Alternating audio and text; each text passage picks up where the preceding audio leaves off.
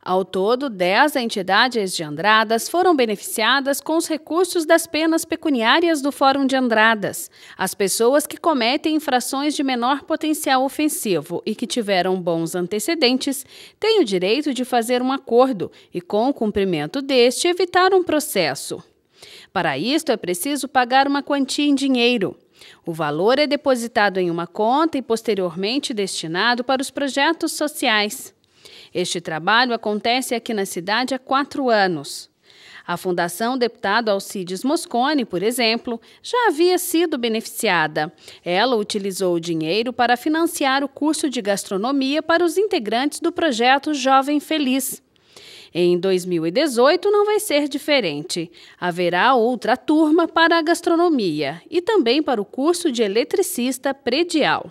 Sim, nós estamos muito contentes, né? Inclusive, o ano passado a fundação foi contemplada, né, com o curso de gastronomia para os jovens e agora mais uma vez, né? Então nós vamos colocar, dessa vez nós vamos estar atendendo até um número maior de jovens.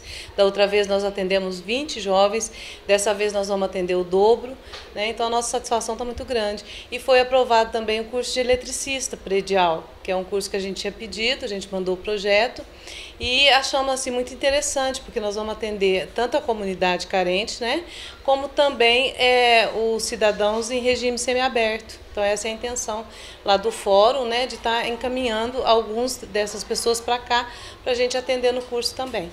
Atualmente, o projeto Jovem Feliz conta com a participação de 100 alunos. Destes, pelo menos 40 vão fazer o curso de gastronomia. As aulas vão acontecer no prédio do ITEC durante seis meses.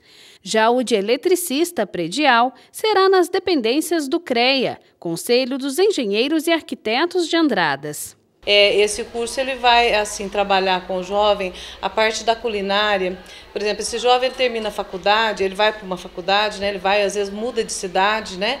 Então ele não sabe se virar. Então é uma é uma culinária onde ele vai aprender a se virar né, aprender a cozinhar, né, cozinha prática, né, onde ele vai aprender a se virar ali para o dia a dia mesmo dele. Né. Então é bem interessante mesmo esse curso que nós estamos tendo. Os jovens estão muito contentes, estão muito felizes, são receitas maravilhosas, né, que a gente até tem postado na página da Fundação. Quem tiver a curiosidade de ver, né, pode entrar lá, né, Fundação Deputado Alcides Moscone no Facebook e pode estar olhando as receitas que são, que são feitas por eles lá.